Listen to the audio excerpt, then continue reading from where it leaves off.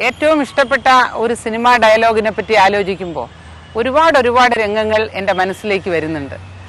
പക്ഷെ എന്നാലും എടുത്തു പറയണം എന്നെനിക്ക് തോന്നുന്നത് അതുല്യനായ നടൻ ഭരത് മമ്മൂട്ടി സമാനതകളില്ലാത്ത തിരക്കഥാ രചയിതാവ് എം ഡി വാസുദേവൻ നായർ അസാമാന്യനായ ഒരു സംവിധായകൻ ഹരിഹരൻ അതുപോലെ തന്നെ പ്രമേയവും വളരെ പുതുമയുള്ളതും പഴക്കമുള്ളതുമായ ഒരു പ്രമേയം. അതായത് വടക്കൻ പാട്ടിലെ ചതിയനായ ചന്തു ആരായിരിക്ക ആരായിരുന്നിരിക്കാം എന്നുള്ളതിനെ പറ്റി എം ഡി വാസുദേവൻ നായർ സ്വന്തം രീതിയിൽ ചൂണ്ടിക്കാണിക്കുന്ന അതാണ് ഞാൻ പറഞ്ഞത് പഴയതും പുതിയതുമായിട്ടുള്ള ഒരു പ്രമേയം. വടക്കൻ വീരഗാഥയിലെ മറക്കാൻ വയ്യാത്ത ഒരു രംഗം. ചതിയൻ ചന്തു സ്വന്തം വാൾ ഉദരത്തിലേക്ക് കുത്തിക്കയറ്റി മരിക്കുന്നതിന് മുമ്പ് പറയുന്ന കുറച്ച് ഡയലോഗുകളാണ് എന്റെ ഓർമ്മയിൽ വരുന്നത്. നവരസങ്ങളിൽ ഒന്നാണ് ഹാസ്യം എന്ന് പറയാറുണ്ട്. ഞാൻ ആദ്യമേ പറഞ്ഞതുപോലെ വളരെ ശക്തമായ ഒരു മാധ്യമമാണ് ഇന്ന് സിനിമ. ഈ സിനിമയിൽ കാണുന്ന ഹാസ്യരംഗങ്ങൾ എല്ലാ പ്രായത്തിലുമുള്ളവർക്ക് എല്ലാ തുറകളിലും പ്രവർത്തിക്കുന്നവർക്ക് ഏത് രീതിയിലുമുള്ള ജീവിത വീക്ഷണമുള്ളവർക്ക് ഓർത്തോർത്ത് ചിരിക്കാനായിട്ട് വക നൽകുന്ന ഒരു ഹാസ്യരംഗമാണെങ്കിൽ അതിന് വളരെയധികം ആസ്വാദ്യതയുണ്ട്. ആയിരത്തി തൊള്ളായിരത്തി തൊണ്ണൂറ്റി മൂന്നിലാണെന്ന് തോന്നുന്നു. മണിച്ചിത്രത്താഴ് എന്നുള്ള സമാനതകളില്ലാത്തൊരു ചിത്രം പുറത്തു വന്നത്. ഈ ചിത്രത്തിന്റെ ഏറ്റവും വലിയ പ്രത്യേകത ഇതിൽ ഒരുപാട് ഒരുപാട് ആശയങ്ങളും അർത്ഥങ്ങളും സന്നിവേശിപ്പിച്ചിട്ടുണ്ട് എന്നുള്ളതാണ്. അതിലെ ഒരു ഭാഗമാണ് ഏറ്റവും പ്രധാനപ്പെട്ട ഒരു കാര്യമായി എനിക്ക് തോന്നിയിട്ടുള്ളത് ഫാസിൽ സംവിധായകനായിട്ട് വരുന്നു. അതുപോലെ തന്നെ അദ്ദേഹത്തിന്റെ കൂടെ അസോസിയേറ്റ് സംവിധായകരായിട്ട് മൂന്ന് പേരുണ്ട്. പ്രിയദർശനുണ്ട് സിബി മലയിലുണ്ട് സിദ്ദിഖ് ലാൽ എന്ന് പറയുന്ന കൂട്ടായ്മയുണ്ട്.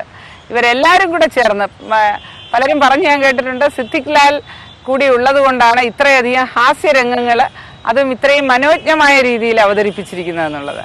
ഇന്നസെന്റും കെ പി എസ് സി ലളിതയും ഭാര്യ ഭർത്താക്കന്മാരായിട്ട് അഭിനയിക്കുന്ന ഒരു രംഗ അഭിനയിക്കുകയാണ് ഈ ചിത്രത്തിൽ അപ്പോൾ അവർ രണ്ടുപേരും കൂടി ചേർന്ന് ഒരുക്കുന്ന ഒരു ഹാസ്യരംഗമുണ്ട്. ഇന്നസെന്റിന് ഭൂത ബാധ പ്രേതബാധ കൂടിയിരിക്കുകയാണെന്ന് പറഞ്ഞിട്ട് ആ ബാധ ഒഴിപ്പിച്ച് കിട്ടാൻ വേണ്ടി ശ്രീ നെടുമുടി വേണുവിന്റെ പക്കൽ നിന്നും ഒരു രക്ഷ എഴുതി കെട്ടിച്ചുകൊണ്ട് തൊട്ടുരിയാടാതെ അത് ഇന്നസെന്റിന്റെ അരയിൽ കെട്ടാനായിട്ട് കെ പി എസ് ശ്രമിക്കുന്നു. ഇത് എത്ര കണ്ടാലും മതി വരാത്ത ഒരു രംഗമാണ്. ഏത് പ്രായത്തിലുള്ളവർക്കും ഏത് കുടുംബ സദസ്സിലും ഇരുന്ന് കാണാവുന്ന ഈ ഒരു രംഗം.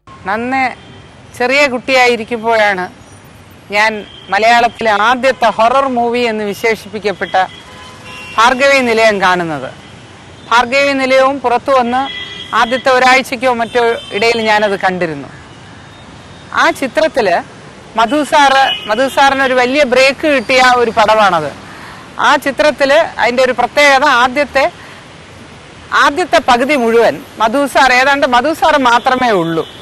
ഒരു അഭിനേതാവായിട്ട് ആ ചിത്രത്തിൽ ആ ചിത്രത്തിലെ മറക്കാനാവാത്ത ഒരു ഗാനം ചിത്രീകരിച്ചിരിക്കുന്നത് കടൽക്കരയിൽ മധു സാർ മാത്രം ഇങ്ങനെ നിന്നിട്ട് കടലിനെ നോക്കിക്കൊണ്ട് അദ്ദേഹം ഒരു പാട്ട് പാടുന്നതാണ്.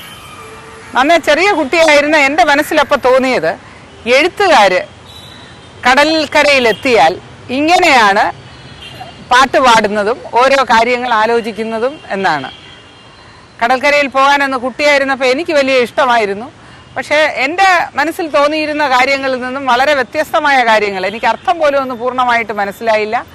പക്ഷെ ആ ചിത്രം ആ ഒരു ഗാന ചിത്രീകരണം എനിക്ക് വളരെ ആകർഷണീയമായിട്ട് അന്നേ തോന്നിയിരുന്നു.